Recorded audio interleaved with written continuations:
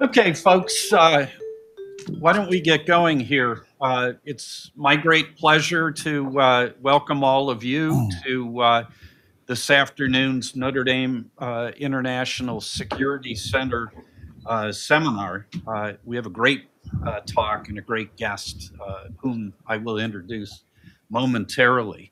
Uh, but first, a uh, couple of uh, administrative things. Uh, first of all, uh, I have a seating chart, um, and uh, this is not to uh, take uh, take the role or uh, you know even to uh, take retribution for any untoward comments you might make during the uh, discussion. It's simply so I can recognize people by name. So I'll pass this around.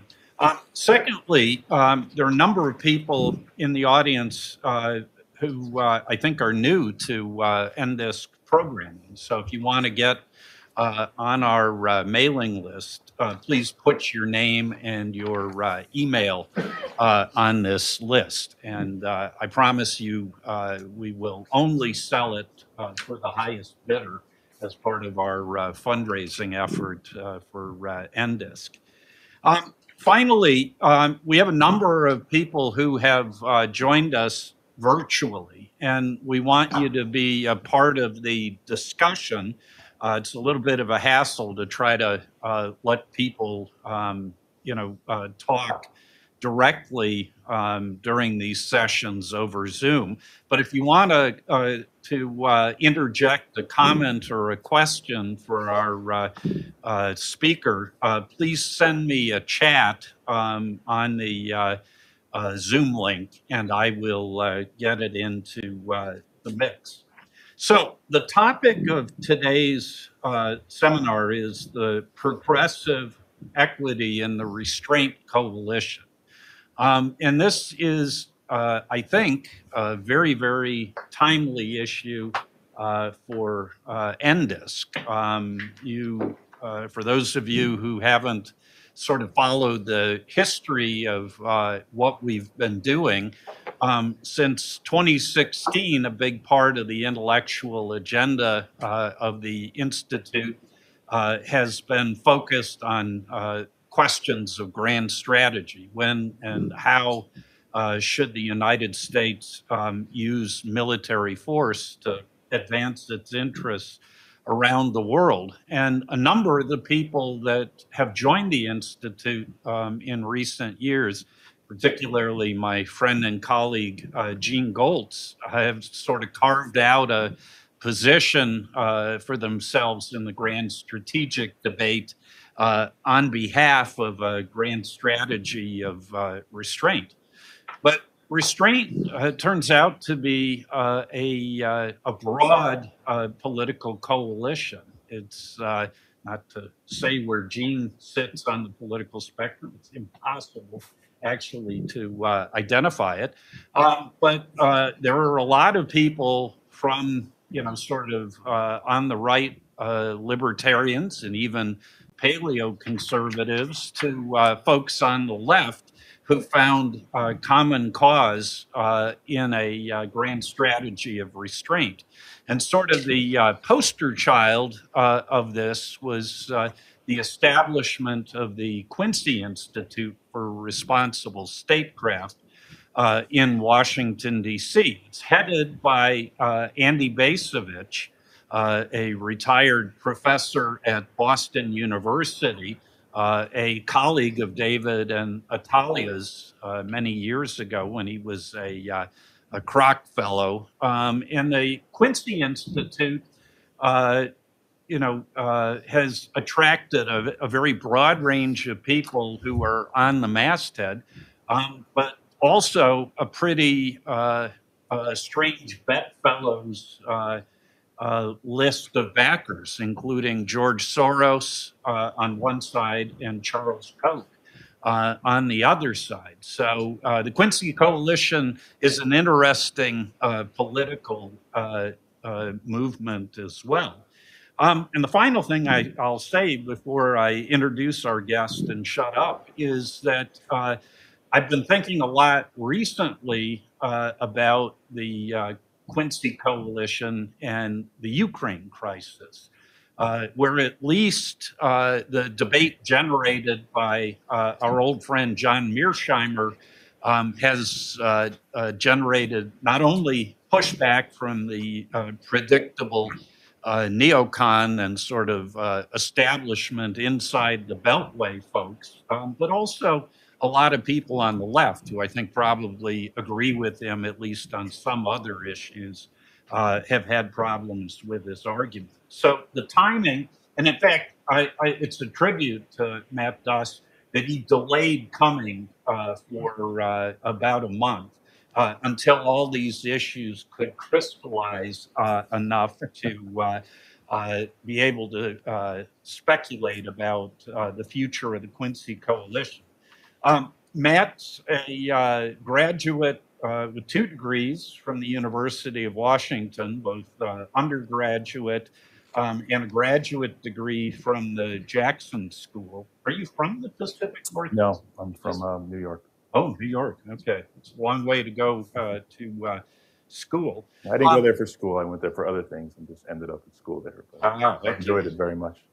Uh, I see. I'm not going to press too, too deeply into, That's for the that's for the off the record session. Yeah. um, he uh, spent time at the uh, Center for American Progress, uh, very influential, uh, sort of democratically inflected, Democratic Party inflected uh, think tank um, in Washington. And in fact, one of the things uh, that uh, Matt sent along as uh, pre-read had a very interesting uh, discussion of sort of the uh, the dynamics of that. Uh, he left there and became president of the Foundation uh, for Middle East Peace, but I think he's best known uh, for being legislative assistant to Senator Bernie Sanders with primary responsibility for foreign policy and national security issues. So, uh, Matt, thanks for making the long uh, two flight, uh, got to make a transfer uh, trip from uh, Washington uh, out here to uh, South Bend. So please join me in giving Matt Duss a warm Thank you. But no, again, thanks uh, to the Notre Dame International Security Center, Center and uh, Professor Desch for inviting me today, um, and for suggesting the uh, subject of the talk, uh, the Progressive Equity and the Restraint Coalition, because it's actually something I've been thinking about for a long time. Um, having had the, the opportunity, the privilege of playing a role over the past years in the development of this coalition and its mobilization and growth over around a, number of initiatives, uh, particularly relating to the U.S. Uh, participation in the war in Yemen and the War Powers Resolution um, that was offered by Senator Sanders and his colleagues, Senator Murphy and Senator Lee, uh, among other issues.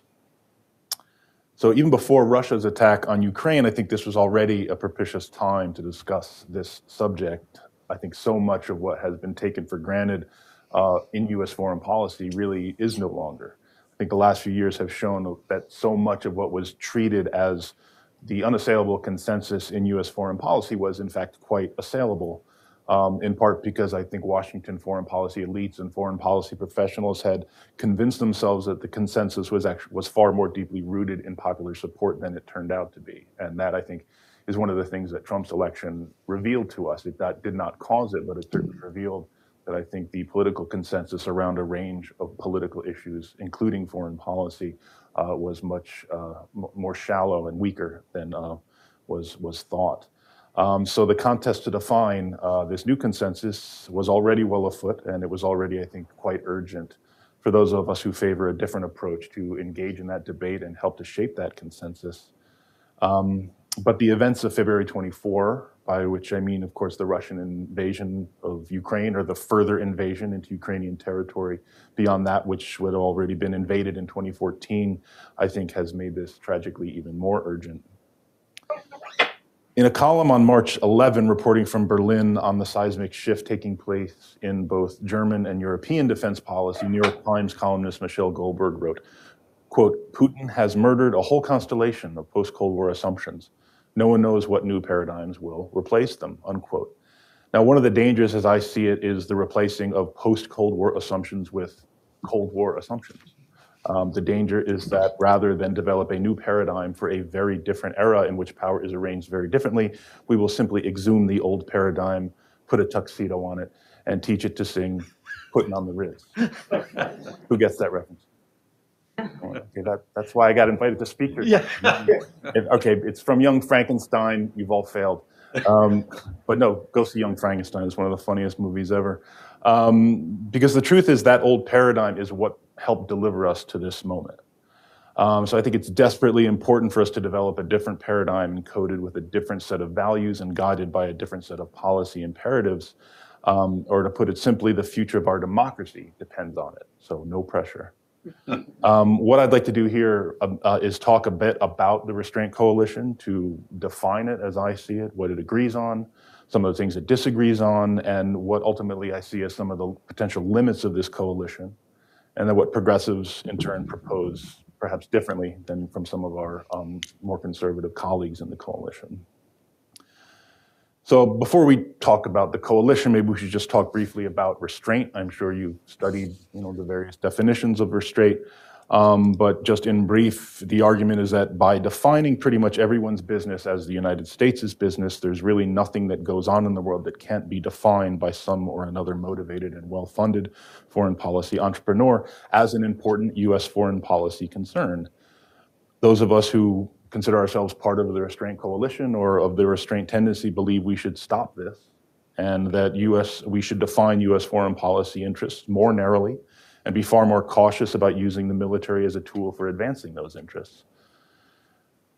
I think the one of the leading academic proponents of restraint is MIT's Barry Posen, who wrote a 2014 book helpfully titled Restraint. Um, he defines the approach as such, quote, the United States should invest its scarce military power in the maintenance of an ability to access the rest of the world and should reduce its regular military presence in the rest of the world. Um, it's more complex than that, but I think that is one of the very good descriptions. We should do less um, because in trying to do more, we've produced a lot of bad consequences, and it's also it's also extremely expensive, blood, treasure, and in its politically corrosive effects um, on our own democracy. And I think that latter point is something that progressives, I think, feel very strongly about, particularly. Um, so while Posen offers one of the more prominent, academic explanations of restraint, I think we can find other examples of this developing approach even earlier. One I'll note here is a February 2013 foreign policy speech at the Heritage Foundation by Republican Senator Rand Paul of Kentucky, in which after reviewing some of the previous decade's disastrous misadventures, he argued that, quote, a more restrained foreign policy is the true conservative foreign policy, as it includes two basic tenets of true conservatism respect for the Constitution and fiscal discipline. We can go back a few years earlier than that for an example of this impulse from the other side of the aisle. Uh, in January 2008, when the Democratic primary between Senator Barack Obama and Senator Hillary Clinton was still raging, Senator Obama took the opportunity during a debate to explain his opposition to the Iraq War. He said, quote, I don't want to just end the war. I want to end the mindset that got us into the war in the first place. Now, my friends make fun of me because I, I quote this all the time. Um, I think it is one just a great one sentence encapsulation of what I see as a progressive foreign policy project, but I think it also works for the broader restraint oriented foreign policy project. You know, people will have differences in the details, but as a basic idea, it's the it means that it's not just this one discrete policy. It's not just this one intervention or that intervention. It's an entire set of illusions and preconceptions that surround American power and its uses that are wrong. And I think ending this mindset uh, is probably the main project of the Restraint Coalition. And the separate question, one I'll come to a bit later, is replacing it with what? So I think perhaps more than any other, the one the restraint approach is most identified with, as Professor Desch pointed out, the Quincy Institute for Responsible Statecraft, uh, funded in part by both Charles Koch and George Soros, founded in 2019. Uh, the Quincy Institute is named for the former president John Quincy Adams, who sounded the famous warning that America, quote, goes not in search of monsters to destroy. Um, the speech he gave as Secretary of State in uh, July 1821, often cited by restrainers as a kind of guiding light of American foreign, or their vision of American foreign policy. Um, there are a range of other policy organizations, advocacy organizations that have been working together in a kind of loose coalition for well over a decade around these issues. Um, on the right, and I'll use the terms left and right very loosely. Um, there are groups like Defense Priorities, Concerned Veterans for America, and Freedom Works. The Libertarian Cato Institute has been doing very good work, often very lonely, for a very long time on these issues, and I think their collection of scholars defies a sort of left-right easy categorization, but I think they deserve a lot of credit. You know, Chris Preble and people like Justin Logan and their team for having been at this work and raising some very difficult questions for a long time, and I want to make sure they get that credit um, because I think more and more people have joined this debate um, on those terms. I think on the left, you have a larger set of groups operating of, of a frankly smaller pool of resources, um, but I think it is powered by a real kind of movement oriented sense of activism. And I do think that's a bit of a difference that we might see uh, between what, again, I loosely call the left and right. Just to name a few is Win Without War, Move On, Action Corps, Code Pink, Common Defense, Demand Progress, Foreign Policy for America, Indivisible, uh, Peace Action, a very partial list. Um, I've left off some important groups with very close friends. Um, but believe me, these groups do not agree on everything, even within the kind of progressive world. Um, but they've developed a very healthy sense of respect for the shared work um, and the need to try and, and, and work out differences in as constructive a way as possible, given what we're all up against in, in, in you know, a Washington where interventionism is still very much the order of the day. So I think these groups represent a really key part of the progressive theory of the case that fashioning a new and durable foreign policy consensus requires a much more active coordination between local grassroots organize, organizers and these so-called policy professionals. Um, and that kind of interplay and engagement and coordination, I think, is very, very key to how progressives, including myself, um, are approaching our work of trying to shape a new foreign policy approach. So what binds the conservatives and progressives and the restraint coalition together? I think the, the effectiveness of any coalition is going to be measured in its ability to actually influence the policy debate and ultimately change policy. Um, the initiative that probably best exemplifies this is the work around the 2018 Yemen War Powers Resolution, which was led by Senator Sanders along with Democrat Chris Murphy of Connecticut and Republican Mike Lee of Utah that resolution, which passed the Senate in, uh, in late 2018 and then passed again in both the House and Senate in early 2019 before being vetoed by President Trump, rested on two key points. First, that the Saudi-led coalition's war in Yemen, um, originally launched in March 2015, had led to the world's worst humanitarian crisis, um, and that the U.S. needed to stop contributing to that crisis, at least uh, second, that U.S. support for that war, be, which began under the Obama administration and was then increased under the Trump administration, qualified as, quote, participating in hostilities, unquote, as laid out in the 1973 War Powers Act, and thus had not been authorized by Congress and was illegal. That's what made the uh, War Powers Resolution an appropriate tool to address uh, U.S. support for the war in Yemen. So here, concerns with expansive and unaccountable executive power, acting outside the bounds of the Constitution, the weakening, of congressional authority and oversight, and the actual popular mandate and legitimacy that oversight is supposed to provide. A deepening humanitarian crisis created by U.S. partners armed with U.S. weapons, acting with U.S. support. These are the shared concerns that help mobilize the transpartisan coalition, coalition excuse me, behind the Yemen War Powers Resolution.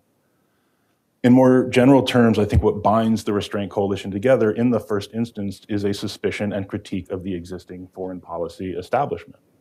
The sense that Washington has gotten far too comfortable using the tools of violence with far too little consideration of the consequences of that violence or of the framers' intention to constrain its use by requiring popular consent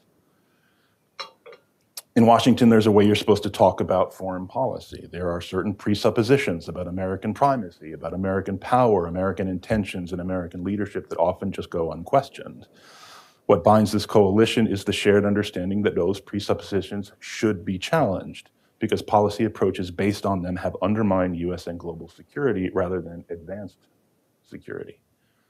Restrainers have a shared appreciation for unintended consequences, understanding that because military violence leads to so many outcomes that we can neither foresee nor control, American foreign policy needs to dramatically de-emphasize military power. I think there's a shared understanding that the global war on terror has been a disaster in economic and human terms, in strategic terms, and that we need to move away from it.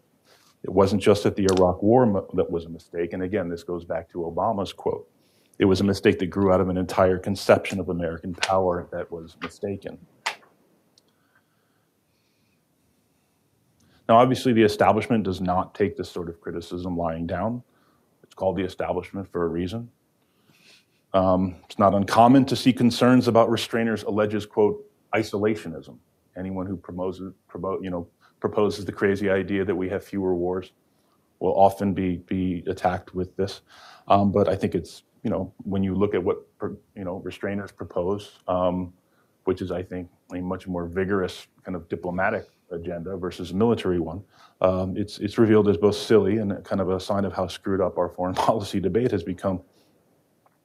And I think part of it is just we've become so used to using or to talking about the military tool, so used to proposing all kinds of military interventions that we've become so, or at least so many policy professionals have become so deeply indoctrinated in this policy culture of global military hegemony that they can't really think seriously about anything else.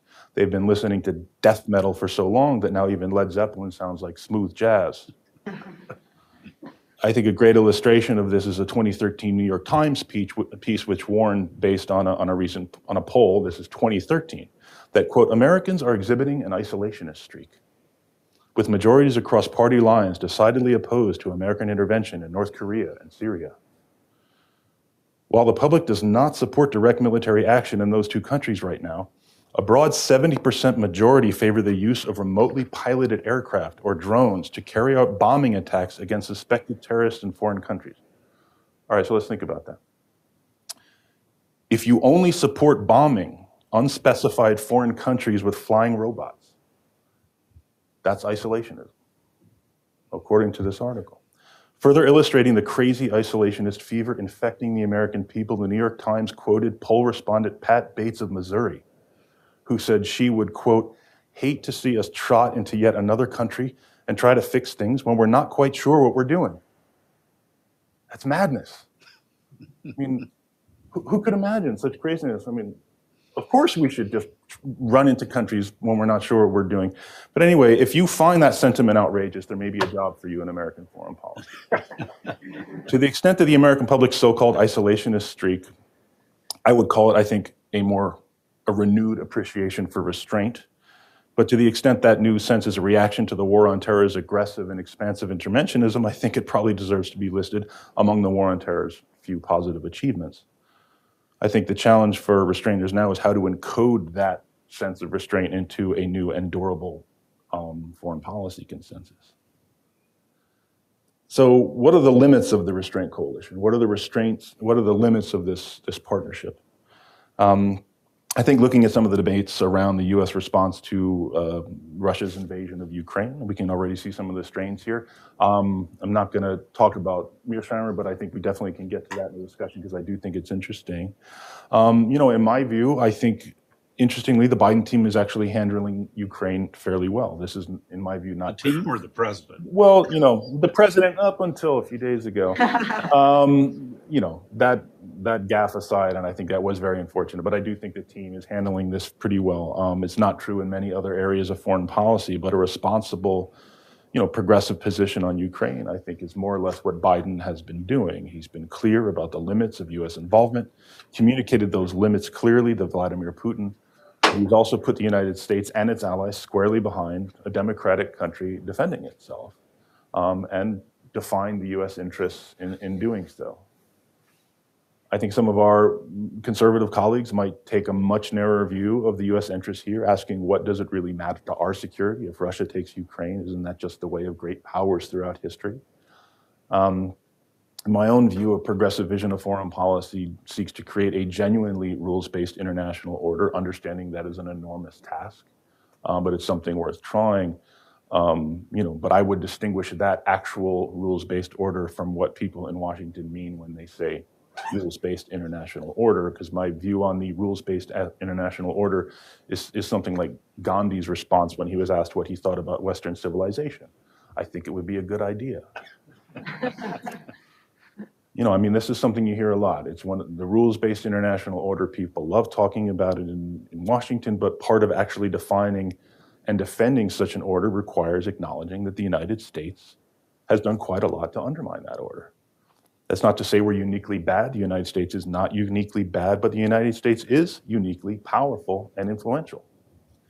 And, we, and when we decide that rules against torture don't apply to us and our friends, when that rules against invading and occupying other countries don't apply to us and our friends, that rules against assassination don't apply to us and our friends, that our people can commit alleged war crimes with impunity while others must face international justice. This completely discredits the idea of a rules-based order. Just for example, last August, there was a US strike in Kabul, Afghanistan, killed 10 people, including seven children.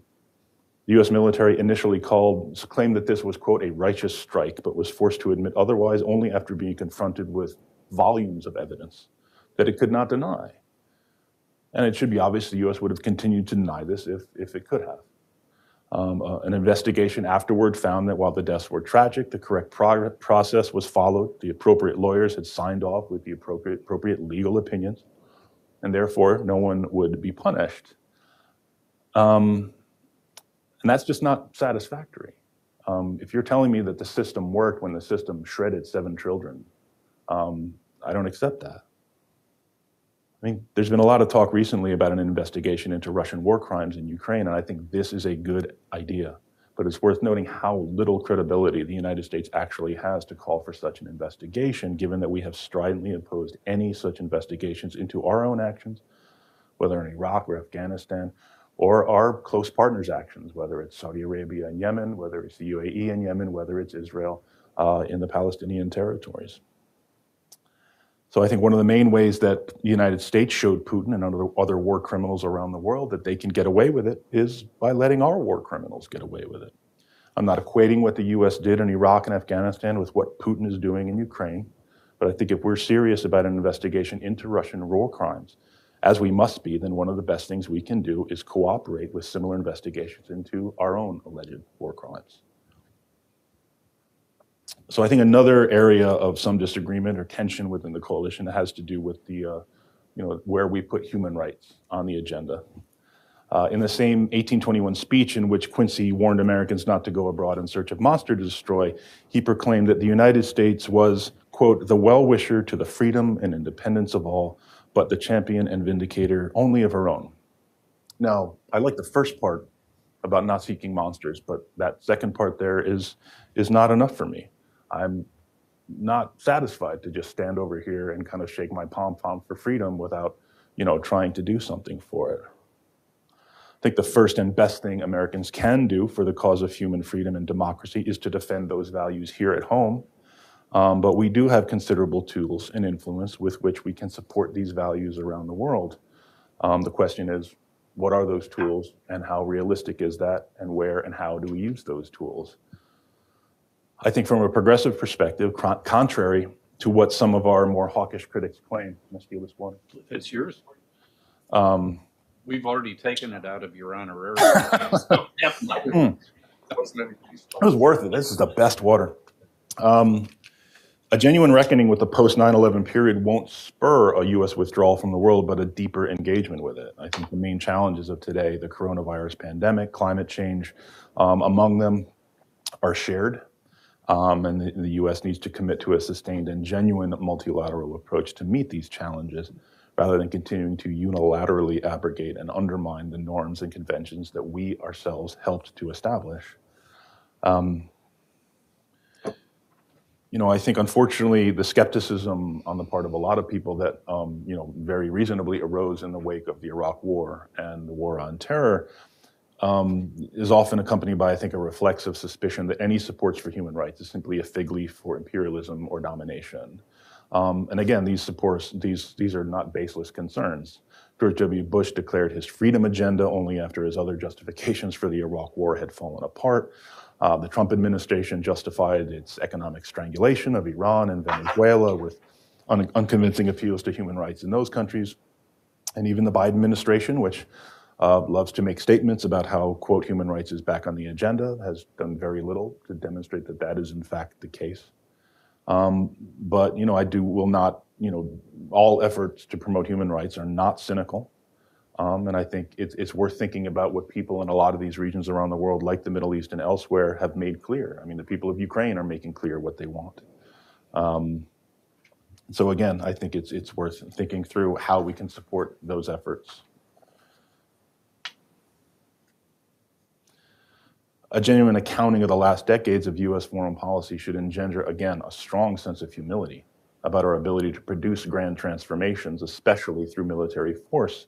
We have neither the ability nor the right to change other countries' governments, let alone transform their societies, but we can embrace an ethic of solidarity and use our considerable diplomatic and economic power to defend the rights and freedom of people in other countries who are working for positive change themselves um, to effectively advance the principles of free and accountable government abroad. However, the United States, again, has to practice them at home. Um, and I think this gets to another key area of tension is democracy reform here in the United States. Even as we survey some of the dangers around the globe, I think today uh, many would acknowledge, I would, that the greatest threat to the United States comes not from any terrorist group or any great power, nor from a pandemic, uh, but from our own politi- political dysfunction.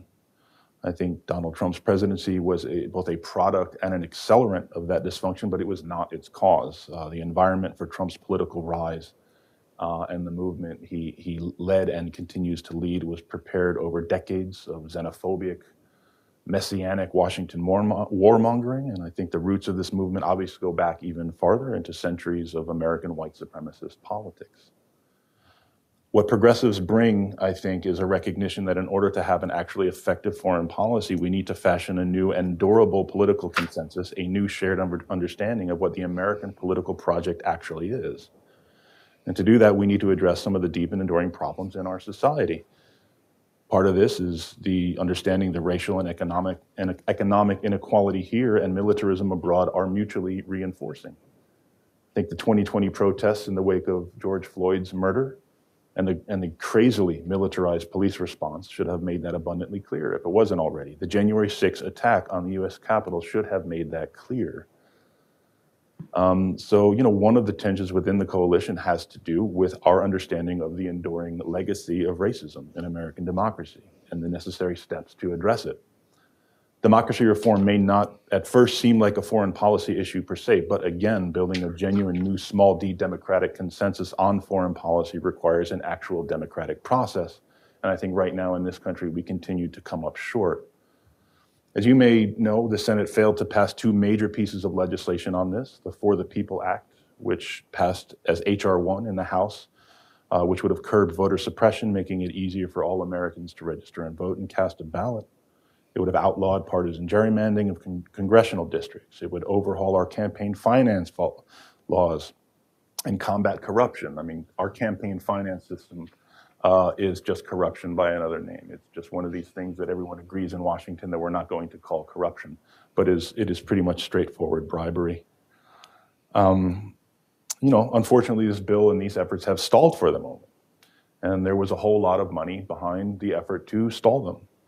Um, you know, including some of the friends like Charles Koch, who funds some otherwise very good foreign policy projects, um, projects that I have and will continue to, to, work with. But I think it's worth noting uh, some of the efforts um, that they're supporting. This, this network spent tens of millions backing many of the senators who are opposed to these voting reforms. Um, and again, I don't mean to be disrespectful to my hosts at all. I'm very happy to be here, but I think I would not be fully and responsibly addressing the subject of this talk if I didn't note this particular tension, because it does point to a pretty important and consequential dis- disagreement within the Restraint Coalition around pretty foundational values of democracy and pluralism. Um, I think this is a good segue into the next area of tension combating oligarchy, corruption, and inequality. I think as the US and, al- and our allies have ramped up sanctions on Putin and his government, um, a lot of attention has been paid to the quote oligarchs, a crew of extremely wealthy individuals with close connections to Putin himself, who basically helped Putin manage the enormous wealth that he has extracted from the Russian people and hidden in various places around the world. I think we should step back for a minute here and remember the role that the U- United States and US economists themselves played in the rise of the oligarchs in the first place after the collapse of the Soviet Union you know, there was an extreme form of neoliberal economic shock therapy that was imposed on post-Soviet Russia, and a new class of investors were able to es- essentially buy up and take control of the Russian people's resources at bargain prices. These became the oligarchs.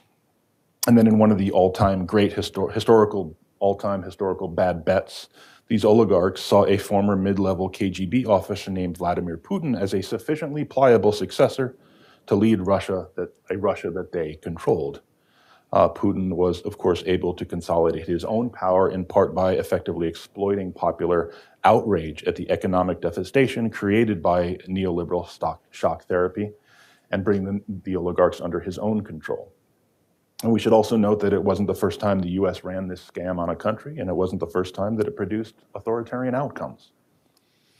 But if we only go after the Russian oligarchs, I think we will have failed. Uh, I think we need to think about actors here in the US, the lawyers, lobbyists, and consultants, and elsewhere, like the UK, which is another, another destination for uh, some of this uh, ill gotten wealth. Uh, these are the folks who are making lots of money themselves by helping kleptocrats and oligarchs stash and launder their money. Um, and US laws continue to help um, all of these folks, whether they're from Russia, from the US, or other other parts of the of, the global South. Um, helps them hide and launder their wealth in places like Delaware, Nevada, South Dakota, or in real estate in New York, Miami, and other places. Um, you know, we have oligarchs of our own in this country and people who use their enormous wealth, wealth which was often gained by rigging the system in their favor to exert continuing influence uh, over our political system. And if we're serious about defending democracy, I think, in the US or around the world, the concentration of economic and political power by a privileged few is a problem we have to think about.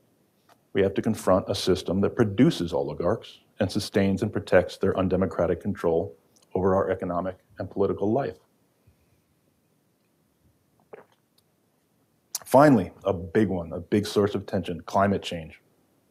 I think progressives understand that the science is clear, and we need to accelerate as much as possible a renewable energy transition away from fossil fuels. And, and let's be clear what we're talking about here. And I just don't want to undersell the radical nature of what progressives are proposing. We're talking about destroying billions upon billions, perhaps trillions of dollars in potential future wealth. Um, I'm going to refer here to a 2014 piece in The Nation by journalist uh, and TV host Chris Hayes called The New Abolitionism um, where, where Hayes compared the modern climate action movement to the, the movement to abolish slavery. So I want to stress here that Hayes does not, and I do not, draw an equivalence between slavery and the use of fossil fuels. Rather, the comparison here is between what opponents are proposing. And I'll quote Hayes here, quote, because the abolitionists were ultimately successful, it's all too easy to lose sight of just how radical their demand was at the time that some of the wealthiest people in the country would have to give up their wealth. That liquidation of private wealth is the only precedent for what today's climate justice movement is rightly demanding that trillions of dollars of fossil fuel stay in the ground. I'll add here there's also a very clear national security rationale uh, for this, which I think has been made even clearer by Ukraine. Um, the sanctions imposed on Russia are already pretty severe, but an even more severe thing we could do would be to transition away from fossil fuels toward renewable energy as quickly as possible. Not only would this deny Putin the revenues he requires to stay in power, it would also spare us the spectacle of the United States going hat in hand to our corrupt authoritarian petrostate friends for help against our corrupt authoritarian petrostate adversaries uh, as we've seen in the past weeks with various US officials making the trip to Saudi Arabia and UAE, begging them to put more oil on the markets to offset Russia's energy being taken offline. So to close here, I'll just I'll just say I think we should recognize that we are at a real inflection point, and I think people tend to overuse that, but I think it's, it's quite true right now. On March 10, UK Foreign Secretary Liz Truss said, quote, the invasion of Ukraine is a paradigm shift on the scale of 9-11. How we respond today will set the pattern for this new era. Now, I think this is right. And I think it's desperately important to make the right choices now, as we made so many of the wrong choices in the wake of 9 11, to devastating effect on the world and ourselves. Uh, in a recent interview with the Washington Post, Greg Sargent, Francis Fukuyama, uh, the academic uh, who's known for um, the end of history, um, described this moment in the following way quote, the spirit of 1989 went to sleep, and now it's being reawakened. I do think people like the idea of struggling for a just cause, and they really haven't had anything other than consumerism and mindless middle class pursuits in the last 30 years. Now, I don't agree with that. Um, I think the last 30 years have actually seen quite a bit of revolt against consumerism and mindless middle class pursuits. And I'm thinking here about the global justice movement, which protested the WTO, the World Bank, and the IMF in 1999 and 2000. This was a global South driven activist movement uh, that put itself on the agenda through some really important direct mass action protests. Um, and that was unfortunately suppressed in part by 9 11 uh, and the radical shift in focus to counterterrorism. But these ideas and these activists and, and, and what they propose has not gone away. We saw similar ideas echoed in the Occupy Wall Street protests. We saw very similar ideas in a different context animate the Arab Spring protests in 2011 and 2012. Outrage at corruption, unresponsive government, austerity, environmental destruction, elite self dealing, protests against the rig game. In 2019, there was yet another wave of uprisings around these same ideas in around the world in Chile, Haiti, Lebanon, Iraq, Hong Kong, and elsewhere. Those are just a, a partial list.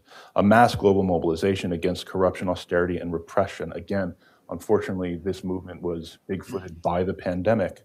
But I think we need to understand that addressing the crisis of legitimacy that is fueling the global authoritarian wave will require heeding these voices in the streets, these activists primarily in the global south, but also in our own country, both at home and abroad. Desperately important that we not lose sight of this now as the foreign policy establishment moves to make anti Russia, anti China, anti authoritarianism into the new hotness, while continuing to turn a blind eye to the sources of authoritarianism everywhere, the sources of authoritarianism.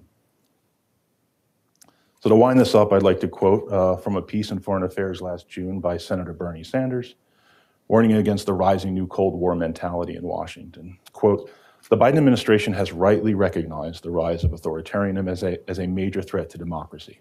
The primary conflict between democracy and authoritarianism, however, is taking place not between countries, but within them, including the United States. And if democracy is going to win out, it will not do so on a traditional battlefield, but, but by demonstrating that democracy can actually deliver a better quality of life for people better than authoritarianism can. That is why we must revitalize American democracy, restoring people's faith in government by addressing the long neglected needs of working families. We must create millions of good paying jobs, rebuilding our crumbling infrastructure, and combating climate change. We must address the crises we face in healthcare, housing, education, criminal justice, immigration, and so many other areas. We must do this not only because it will make us more competitive with any other country, because it will better serve the needs of the American people. So if there's one word I'd leave you with here that I would use to characterize a progressive foreign policy approach, it's that word solidarity. Solidarity with those working to build better, more secure, and dignified lives within our own communities here in this country and those doing so abroad. The key question is how we translate that solidarity into a foreign policy that recognizes the limits of power, but also uses the considerable power we do have to promote human dignity and security around the world. Well, thank you. Thank you very much. Uh, So the floor is open and uh, also the chat window um, on the uh, Zoom screen uh, for people who want to get in. And uh, so uh, raise your hands. I see uh, signs of life from my, uh, my colleague Dan Lindley.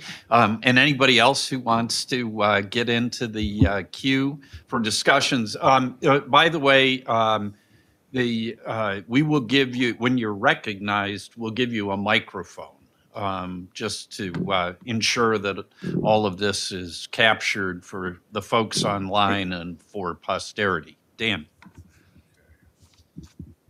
Is it on? Yes. What a miracle. Um, so I'm wondering if you consider Trump a fellow restrainter, a fellow traveler in your circles. Certainly in some elements he was. Um, also, do you think he'll pay any political price in the coming election for being completely an idiot about Russia? Right. All of a sudden, the Republicans have just gone Yeah. on Russia, on NATO. It's been remarkable. So is that Hmm. is that a political movement or something that's just going to blip and go away? Yeah.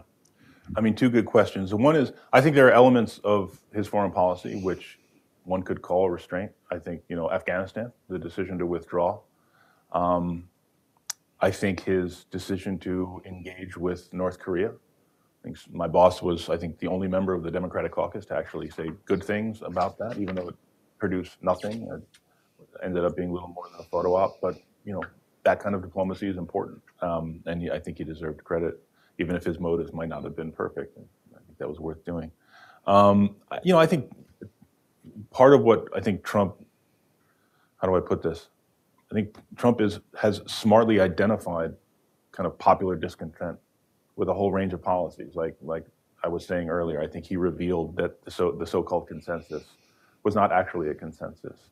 Um, you know, Trump is has repeated the the phrase, you know, great nations don't fight endless wars.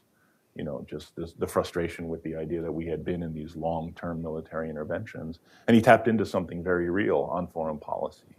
Um, I don't know that it was bound together by any real theory of restraint, but I think you can definitely identify things that he did that are consistent with restraint. So, if that answered that question, in other areas he was quite militarist and unilateralist. I mean, I think to name one of many examples, the assassination of Qasem Soleimani, which brought us as close to a war with Iran as I think we've probably ever been.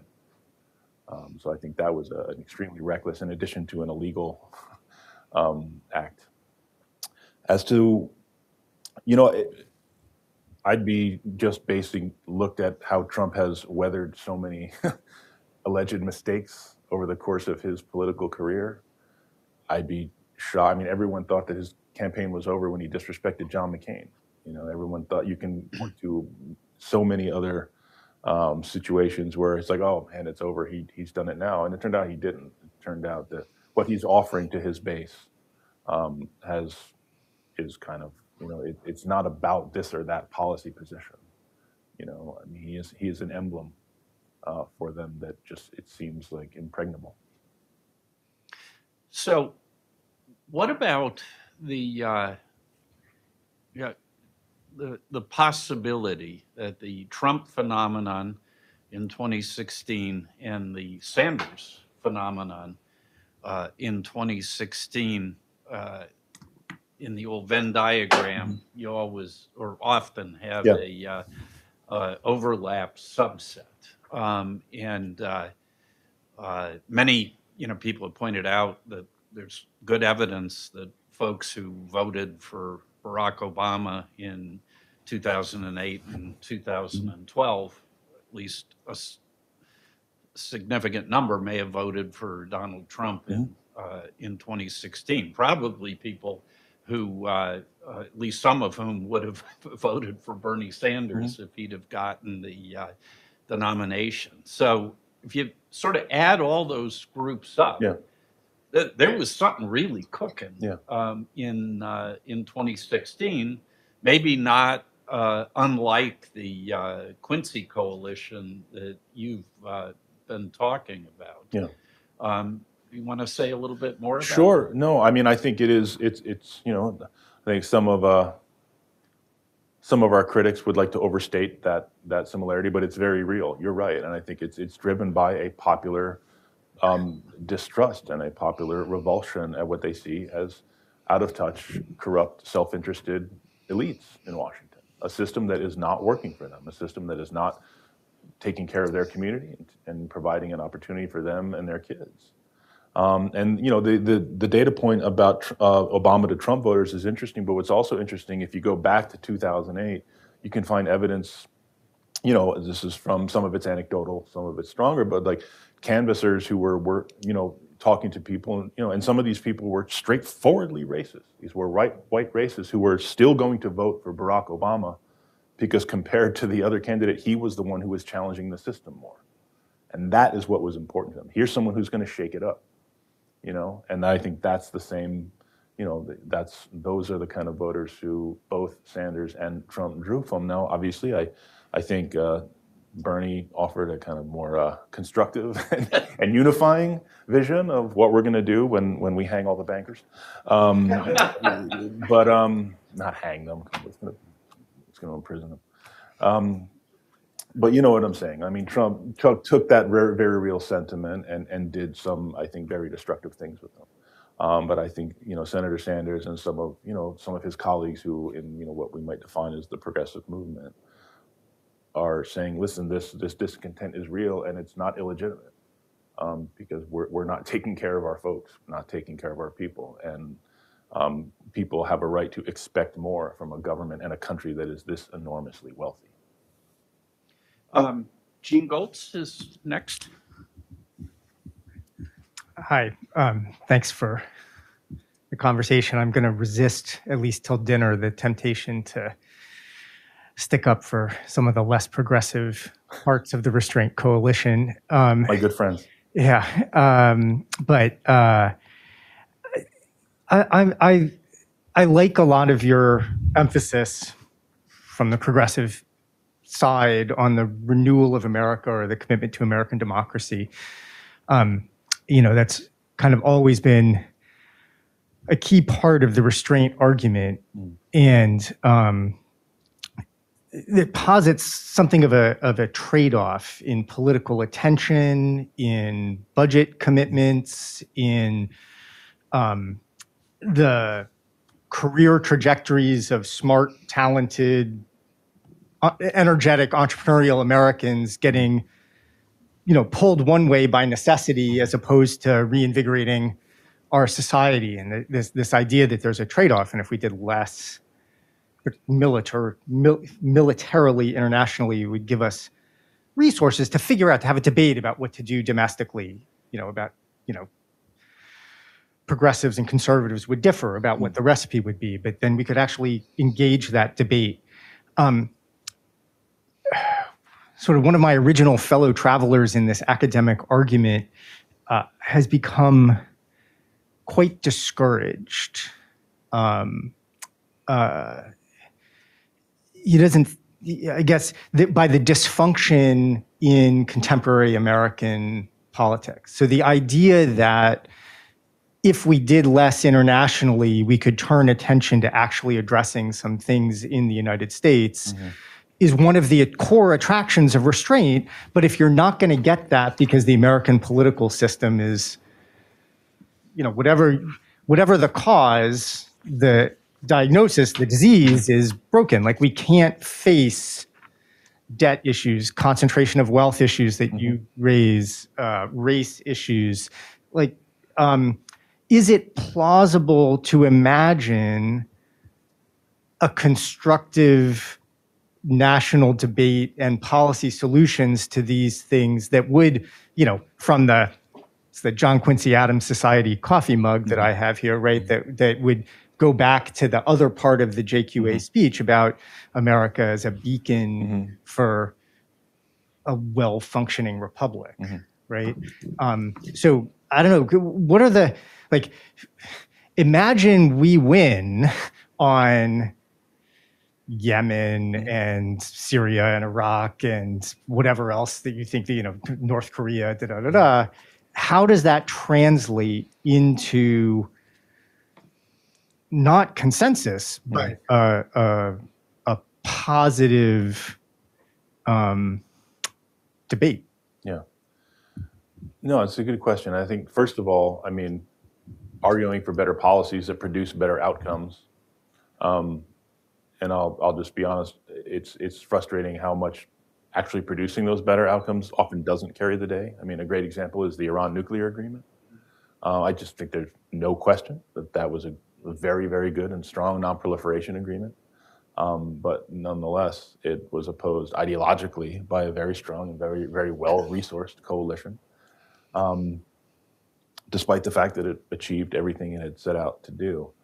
Um, but I think it's building up, um, building up kind of a, a case file of, of positive outcomes that we can point to. But at the same time, I mean, I actually don't think that, you know, I think there's nothing, even if we have the best possible policy approaches, I think in some of these areas, I I actually think it's kind of impossible to get the media not to light its own hair on fire when crises arise. You know, whether it's Afghanistan, whether it's Ukraine, I, I think it's it's very difficult to change. I think changing the media's culture of, you know, conflict cells um, and crisis cells is actually more difficult, I think, than um, you know proposing that okay, we need then having you know political leaders in Congress and elsewhere who are actually going to try and deal with these crises responsibly, if that makes sense. Um, yeah, but I think I don't really see one necessarily weakening or strengthening the other. It's just they both have to go in tandem to make those good policies durable, right? Because even if we do get a new interim nuclear agreement with Iran, as it looks very possible that we might do, Uh, the danger right now is that the next Republican administration will simply withdraw from it again, and that is just not a sustainable way to run a foreign policy. So that really gets to the question of can we have an approach that's durable and rooted in a real consensus? And I don't downplay that challenge, but it is kind of the core one. Great. Uh, Thank you. Alex, you're next. Hello, thanks for the wonderful talk. So you've covered a number of important major areas of disagreement within the re- restraint camp. Mm-hmm. But one thing that was less emphasized within your presentation is this issue of the rise of China. Mm. And namely, I'm thinking about this issue in three dimensions. Mm. What, if any, is the type of threat slash problem that China poses to the US? Two, what is the appropriate or what are the appropriate alliance slash defense commitments that the U.S. should be taking up vis-a-vis uh, the the rise of China, and three, the appropriate broader U.S. grand strategy that the U.S. should be taking against China's rise. Yeah. Um, so, can you share your assessment as to the basic fault lines within the restraint camp on the, these basic issues moving forward? And just to you know better help me flesh out the foreign affairs read ahead piece that you did share Sure. um, ahead of the seminar. Thanks. Yeah, thank you. Yeah, it's interesting because we were, Professor Desch and I were talking about this earlier. I mean, I think you can certainly identify people who one would group in the kind of restraint coalition, like Professor Mearsheimer, who's actually very hawkish on China. Um, I think you have others um, who would identify themselves identify themselves as huge fans of John Mearsheimer, who would take a, a less hawkish view. Um, I think you, you know you, you mentioned the piece from Senator Sanders, which I quoted uh, in, in my talk as well. Is first of all, yes, it's important to understand what China envisions for its own role in the world, and I do think there is still some question about that. I think the consensus that seems to be fast forming in Washington and including in the White House um, um, is kind of characterized by Rush Doshi's book, The Long Game, if you're familiar with that, um, which takes a very kind of, you know, basically that China wants to supplant the United States as the global hegemon. Um, whether it wants to do it quicker or, or longer, um, I think is, is still in question. Um, I think there are others who disagree with that, who see, you know, China wanting to kind of just actually have freedom of movement in its own region. Um, but either way, I think that debate is still going to play out. But I think Senator Sanders' point is like, if it's one or the other, that there's still an argument for working in every possible way to develop some measure of trust and working relationship with China. Right? There is no argument for simply, you know, defining this relationship as a conflict and a confrontation at all times. Um, you know, because even even even if even if the worst interpretation of China's ultimate or the Chinese government's ultimate goal is the right one, there are still things to be learned um, from engaging with Chinese officials um, at, at all levels. Uh, things that will help us develop better and smarter policy uh, in responding uh, to some of those aims. Um, but I think uh, another really important, I think equally important part of that piece and what he was proposing, and I think this is kind of shared amongst a lot of the restrainers, is, you know, the you know it's dangerous to imagine that we can forge political unity in this country through conflict with China or with Russia. You know, we you know we saw this during the war on terror. The idea that okay, we're going to all come together after 9/11 and unify uh, and wave the flag and go to war in the Middle East. Um, that was a disaster, not just for people in the Middle East, but in the way that this kind of discourse, you know, demonized Muslims in our country, the way it, it hurt our own communities through militarization, through surveillance, um, and it, it corroded our own politics with a very hawkish, xenophobic, um, you know, kind of rhetoric. And we can already see this happening with regard to China, and I think a little bit less so with regard to Russia, but you can find examples of it. Um, and I think that, you know, if, if we're, you know, if the understanding is that we need to repair our own politics and our own democracy to have an effective foreign policy, then being wary of the way these, you know, our foreign policy act actually kind of blows back on us is really important. Thank you. Um, David Cortright? Yes, thank you, Matt, for the great talk. And uh, I agree with your point about the Biden administration's response to the Ukraine war uh, as having been generally uh, restrained and properly so. in making clear that uh, we're not going to introduce our forces. There won't be a direct confrontation, military engagement between U.S., NATO, and, and Russia, while at the same time providing uh, ample, you know, large volumes of defensive weapons so they can knock out Russian tanks and the like uh, in a proper self-defense. Um, but uh, now we face the, the, uh, the aftermath. Hopefully, there's a negotiation here, which might be a ceasefire. This is going to take a, a time to unravel, but um, uh, well, let's assume that it doesn't get worse. Uh, but we now face the backlash in various countries of uh, significant increase in military spending and a move towards militarism. Right. I mean, even the Germans are now talking about Right. uh, increasing their military spending. Uh, I thought it was three Reichs and you're out. but um, and then the, the headlines. I haven't read any of the details yet on the budget proposal, but 10% increase of the military Yeah. is on top of all the increases we've been the Right. last two years. Right. Uh, is a staggering amount, um, and is highly problematic for a lot of reasons. Uh, but now we have a challenge politically in the restraint coalition, on both sides, to come up with a response here that's going to work politically.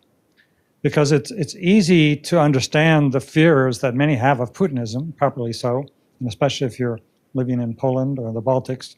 Uh, who knows where this madman may turn next, and you're right in the potential uh, target zone. So uh, they need help to defend themselves, et cetera, and that argument will under, underlie and build support for this huge increase in militarism. Uh, and I can think of lots of arguments why it's not going to help them and, and uh, why it would be actually counterproductive and would have a lot of negative effects. But can you help us out with you know, what's the political argument you were saying at lunch, which I agree with? Yeah. It, the argument has to be on questions of principle. What is the best security? Yeah. So, yeah, we should defend people who are threatened by Putin, but what's the best way to do that without spending another 150 Yeah. billion more on top of our our already large military spending? Yeah. Well, I mean, honestly, I think the best response to this idea that we need to spend more money to counter the Russian military threat is this military, this Russian military that we've been watching for the past month. Um, yeah, I, I, I'm, I'm not kidding. I mean, um, I, you know, the you know the kind of military-industrial complex will obvi- always always obviously seize on any reason uh, to increase the defense budget. Um, there are more than enough think tanks and fellows and pundits who are you just kind of and again this is the kind of culture that I talked about in in, in my talk. Um, so I don't I think it's more more than than the threat from Russia because I think yes and the actual threat from Russia is the fact that they have the most nuclear weapons of any country in the world. Um, that's not not something we're gonna gonna necessarily deal with through increasing our military budget. But I think the excitement around the fact that Europe is quote unquote taking its own defense seriously now um, is is is very concerning. And again, this is you know I've been in meetings with colleagues, a number of colleagues from Germany and Europe who've come over, and you know very serious defense analysts and people who are now. I mean, you can feel like the room buzzing with energy because now we're all agreeing to get serious about defense by spending more money on uh, on the military. Now, you know, a lot of good friends of ours in the Restraint Coalition have written things about Europe's strategic autonomy. I think that's an interesting debate too. Um, what does this mean if they develop more capabilities on their own? Shouldn't that mean that the United States is then able to do less? I think that's a pretty easy argument to make. Um,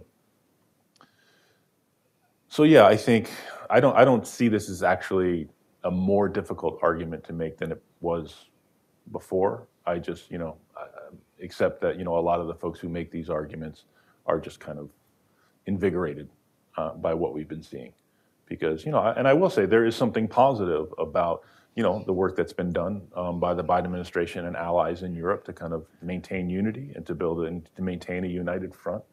Um, but you know, as I was saying at our lunch, I mean, my question is like, where was this work on a whole range of other issues before this?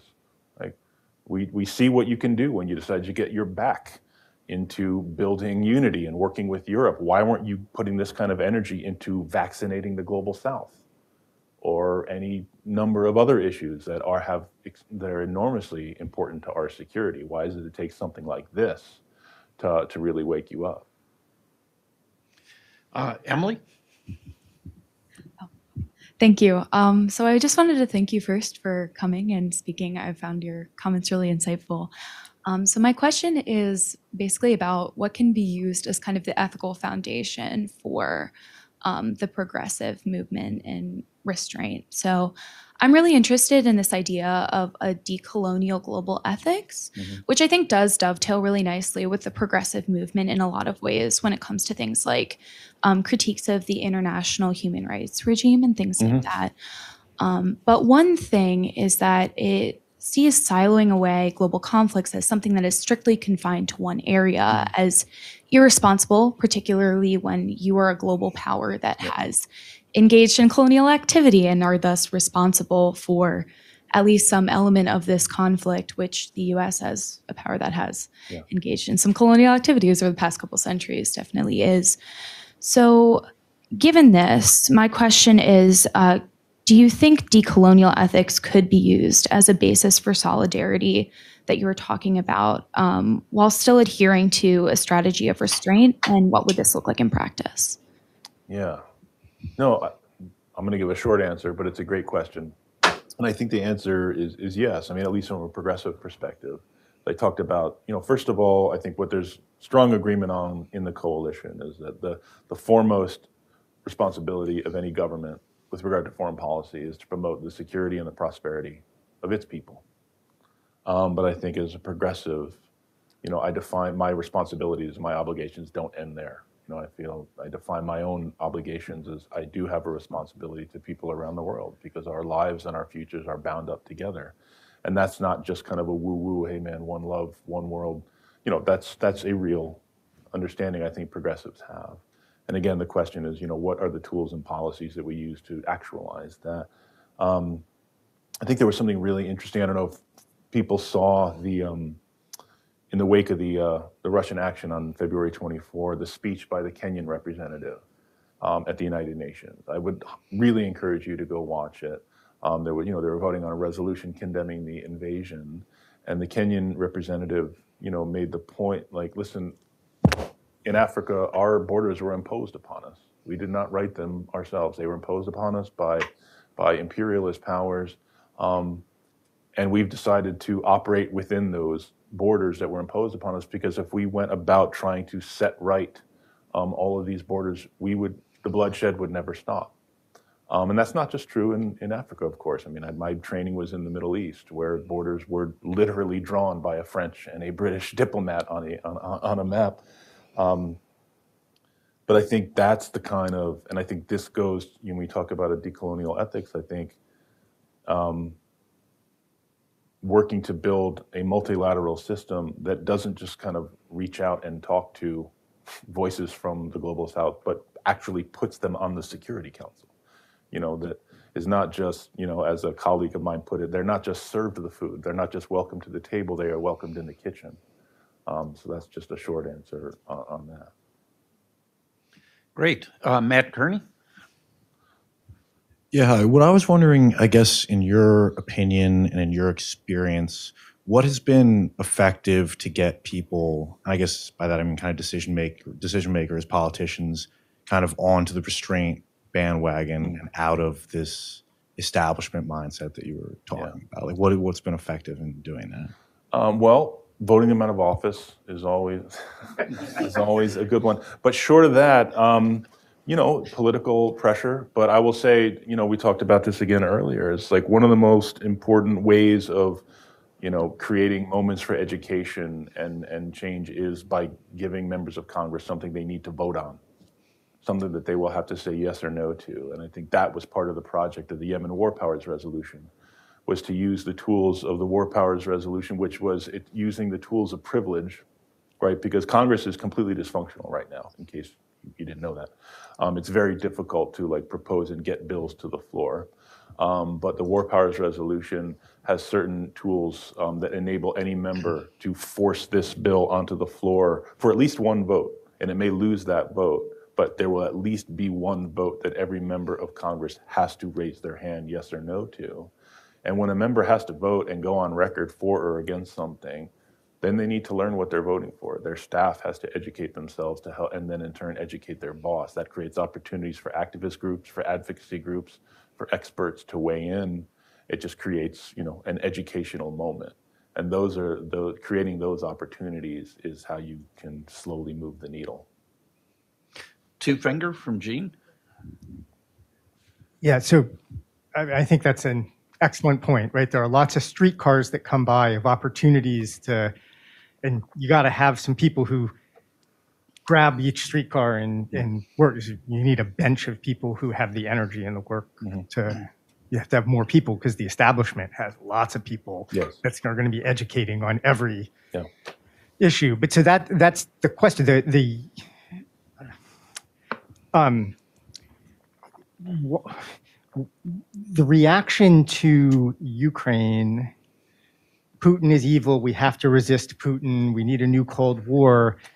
Um, has been so different than, say, the reaction to Yemen. So the political resources that come, right? So um, the Yemen War Powers Resolution lost um, at the veto level, but um, uh, like how could there have been a more perfect opportunity for a victory that didn't come to pass, right? Like the Saudis don't look good. They cut up a guy living in America hmm. who was a journalist exercising free press rights. Hmm. They lured him to an embassy and literally cut him apart with a bone saw. Hmm. And, you know, the new Atlantic cover story says all kinds of things about how we, you know, the, the regime is implicated in this. And yet we can't disentangle ourselves from their aggressive war in a neighboring country.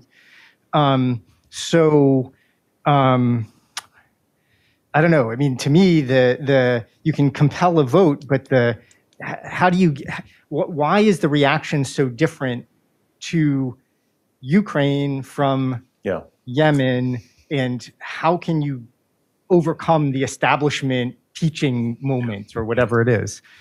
No, I mean it's it's it's a good question because you're right. You know, Saudi and UAE have essentially been doing in Yemen what what what Putin's uh, been doing in Ukraine. I mean, but we also have to recognize the U.S.-Saudi relationship is deeply, deeply institutionalized in Washington.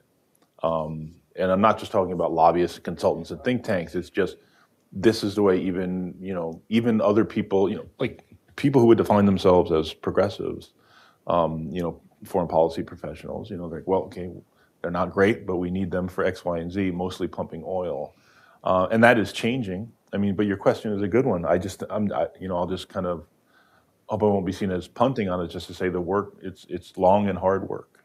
Um, but i think if you look at the attitude toward this relationship in Washington now versus five years ago, it is seriously different. And you better believe that Saudis understand that. And the Saudis' allies in, in, in Washington understand that the work of lobbying right now is much, much more difficult for Saudi Arabia. So, I mean, Russia doesn't have that kind of lobbying expertise. The US Russia relationship is obviously very, very different for a whole range of ways. Um, but yeah, you know, it's, it, it, it it takes a while. So if I don't see any other hands, you guys are going to have to listen to the distinguished moderator uh, recognize himself and go on a stem winder. Um, But seeing, please. What do you, think? don't encourage them. Is this thing on? Okay. Uh, two things. One, thank you for the talk. It's always great to hear from a more professional point of view versus, you know, fellow students. But my question is you talked a lot about American support for democracy both here and abroad. But let's look at the real world. We're going to have to support an authoritarian regime or two simply because it better serves our interest to do so. For instance, Saudi Arabia, it's in our interest to support them because imagine if that global supply of oil goes over to the Chinese. Um, basically, my question is to what degree do you think this is acceptable? Do you think even if we support these regimes behind the scenes, we should try and exert influence to encourage liberalization and democracy? So to the first point, yeah, you're right. As it currently stands, we are kind of trapped or held hostage by our continued reliance on fossil fuel in this relationship. Now, even, and that again is why I think accelerating the transition to renewables. Um, go ahead. Uh, even outside of our reliance on fossil fuels, just Yeah. purely based off we don't want the Chinese to have those resources. No, it's, it's a fair question, but we're going to have a lot more leeway um, to define our own policy um, the more we move toward renewables. Um, as you, you know, energy is a global market, so the Saudis, by virtue of their enormous reserves, are always going to have an enormous amount of influence um, on that. Um, so your, your question, we need to have a relationship with them. Yes, it does not to be need to be this relationship um, where there's virtually no pressure being applied to the Saudis. Um, there's been various times when we have tried to apply pressure, and various different Saudi leaders have responded in different ways. So yeah, I think you, the basis of your question, aren't there kinds of trade-offs with bad governments that we need to work with? And the answer is yes, sometimes yes. But let's work harder to define that space smaller um, and not just accept it as, okay, this is just a cost of doing business as, as, as we have been doing. I'm just, I think, I think there is a way to kind of shrink those tensions uh, a bit more than we have been doing. But yeah, those trade-offs are always going to exist. We shouldn't pretend they're not.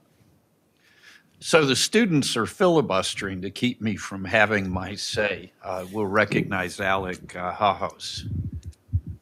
Uh, yeah, uh, I guess not to sound um, defeatist, but I think Eugene brought up a good point. Um, you know, if if we can't, and, and you say that things have changed since Yemen, you know, they're different now with Ukraine, but really for the restraint coalition to to win uh, and to beat the establishment, I mean, is it really just going to be a function of the structure of the system biting back. I mean, America's had sort of, you know, it's it's drunk on its own power, uh, and it's going to take the hangover to actually finally wake uh, the American political establishment up out of that uh, sense of delirium. So, I mean, it's I know that's leading, but um, is is that what your assessment is, or do you think Um, there is space for change before we get to that rock bottom moment? No, I think there is space for change. Part of it is having more and more members of Congress who are willing to to voice those ideas um, and to give cover to others who might agree with them but have not been willing to kind of get out there on that. Um, and I'll also say this: I mean, ultimately, what is going to what changes seriously? What really impacts um, kind of foreign policy discussions? Some more, some less, is a president. Um, if we can conceive of having a president that considered herself or himself, um, or at least consider the restraint coal, if not, if they didn't consider themselves a restrainer, then at least consider the restrainers a much more important part of the coalition that elected them um, and brought some of those people into their administration. Um, that is something that seriously uh, changes the overall foreign policy debate in Washington. We don't have that now, unfortunately. We've got a few good folks, um, not nearly enough. I mean, there's good folks, but they don't share these ideas as much. But I think continuing to build the presence of these ideas in Washington such that these are the kinds of people that get attached to presidential campaigns and get appointments in future administrations and then come back out into Washington and kind of continue to carry the flag for these ideas is really how you do the work of changing the debate. So, um, one of the other fault lines, uh, I think, in the coalition that you didn't touch on, and uh, I hesitate to raise fault lines because I'm all about uh, building Yeah. momentum, um, but uh, uh, sort of intellectual candor compels me uh, to raise this. Um, we realists tend to have a tragic view, uh, both of human nature and of politics. So uh, you see it, you know, for for example, in uh, the Mearsheimer position on the uh, on the Ukraine, um, but you see it on a on, on a lot of other things as well. Um, you know, I I I did spend a lot of time in Russia in the '90s, uh, I saw a lot of the turbulence of the uh, Yeltsin period. I knew a lot of you know people who were involved in it, both you know foreigners who were there and Russians who were part of the reform reform process. And there were there were certainly a lot of crooks and gangsters Mhm. who were trying to make a lot of money. Yeah. Um, but there were also, I think, a lot of well-intentioned people uh, who, you know, thought that uh, democratization, liberalization of the economy, um, and things like that um, were morally um, praiseworthy. Um, the problem wasn't, uh, I think, that we went in there thinking we were going to screw this country Mhm. over. I mean, there were probably some people who thought that, but just, you know, a lot of people who, uh, you know, their good intentions paved the road to uh, to hell with uh, with uh, with Russia. Um, and you see it, you know, in a lot of a, a lot of other instances as well. I mean, sort of the flip side of that is, uh, you know, there's been a lot of sort of burnishing of uh, Ukraine uh, recently. Uh, you know, we talk about Ukraine as a uh, democracy. Mhm. It's more democratic than Russia, but that's damning with with faint praise. Uh, you know, President Zelensky, in my view, has risen to the occasion, but he, he really was a political failure Mhm. In terms of his agenda when he was elected in April 2019, in terms of resolving some of the big problems Right. uh, in that country. It's a very corrupt place. Um, and, um, you know, there's no genocide in the Donbass, but there is a minority rights problem um, that Right. Putin's probably going to solve by carving all the Russians out of uh, a, a future Ukraine. Um, but you know, there there was also uh, you know a period of time uh, after you know sort of between the March on Charlotte and the uh, uh, the uh, uh, January sixth um, assault on the Capitol, where people said, you know, there's a real political problem with a global. Maybe not neo-Nazi movement, but you know certainly uh, very ugly nationalist right movement that was strong in Ukraine Mhm. and unfortunately remains strong Yeah. there. We don't we can't really talk about that because you know we're in the the mode right now of you know basically um, casting President Zelensky as the 21st century um, manifestation or reincarnation of the founding fathers. Mhm. So it's that, you know, general tragic view that, you know, a lot of what we do wrong in the world, in my view, was well intentioned. Yeah. And, and also, a lot of the places and people that we'd like to work with aren't as good as our propaganda sort of makes it out to be. Yeah. And so that's what I think leads a lot of the the, the uh, those of us in the realist camp um, in the restraint coalition to embrace JQA, uh, you know, without the codicil that you want to add to it. We wish other people well, but whenever we try to do well, or often when we try to do well, uh, we end up, Mm. you know, making things uh, worse. Yeah.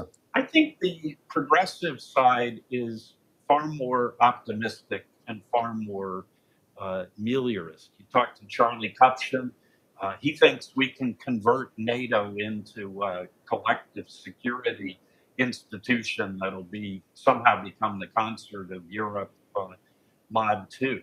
Uh, you know, those of us on this side think the original sin of the current Yeah. crisis was NATO expansion, and anything that involves NATO going forward is not going to be a, a solution to the to the problem.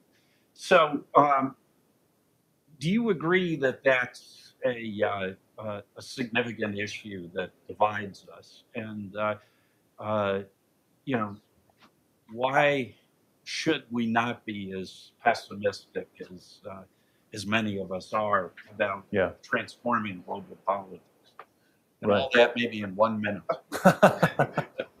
Thank you. Um, Dave, David's walking out. He's he's heard that. Um, no, I mean, there's a number of very good questions in there. I'll try to tick through them and ignore the ones I want to ignore. Um, Or you can walk out with Dave. no, first of all, with regard to Russia in the 90s, yeah, I mean, you know, I gave a little gloss of what happened. Um, I, there certainly were well-meaning folks who went over there and, and thought what we were doing was correct. Um, certainly not every economist or every activist or democracy promoter who went over there after the fall of the Soviet Union was a kind of hands-rubbing Mr. Burns who just wanted to kind of, you know, extract wealth from from Russia. Um, I would say that you know people who tried the, these approaches in other places, you know, a lot of people who did what we did in Chile, genuinely believed that we were saving Chile from communism. Um, you know, Elliott Abrams believes that we were saving El Salvador from communism by killing lots of nuns. Um, you know, so yes, people can do horrible things with what they believe are the best of intentions. Um, but your point about Ukraine is also very important too. Ukraine, it, it is um, it is a it's a relative relatively less uh, smaller corruption problem, but it certainly has its own corruption, has its own oligarchs. You know, because that same model was sort of imposed on Ukraine just as it was on Russia. So yeah, I do think it's important not to you know I think you know Zelensky has earned admiration. Um, I don't I, I don't think that should blind us to some of his own shortcomings or the challenges that Ukraine definitely still has, including you know, in, in the Donbass, as you said, this minority rights issue, which is very real, which his own government had not responded very productively to. Um, you know, we were talking at lunch also. I mean, listen, Ukraine does have a right wing neo Nazi uh, problem.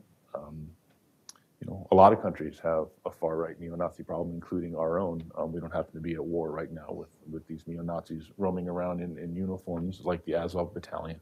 Um, but yeah, we had, absolutely have to um, acknowledge that the picture is more complex than I think our debate often makes it out to be. As to your last point, and, and it's a good question. I think it's more, it's, I think there maybe is just in, comes in some ways a difference in degree in what we believe our actually capacity and ability is to support or facilitate change and around whether it's our business. And listen, if people believe it's not our business, that is a good faith disagreement um, that I have with some of my more conservative colleagues. Um, but again, the reason I bring up the kind of, you know, um, global justice movement that we saw back in 99 and 2000 and the way that has fed into some of these other rounds of protests we've seen in the US and around the world, as I think, you know, there is work that we can do on our own, um, but also working with other institutions, multilateral organizations, and other countries to at least try to protect the political space in these countries for these activists to do this work. You know, even if we're not, you know, sending you know a bunch of American activists to help change these societies, which we absolutely absolutely shouldn't do. There are activists who who do seek and ask for American help, even if it's just as simple as, you know, the consul general, you know, scolding the you know the local authorities, or at least making clear that we're watching what you're doing.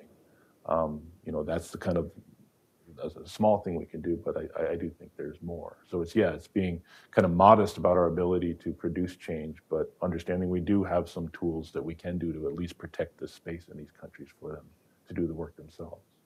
Great. And uh, we, we're a little past time, so I think we should uh, formally uh, close the proceedings, but not before uh, a round of applause for uh. Thank you.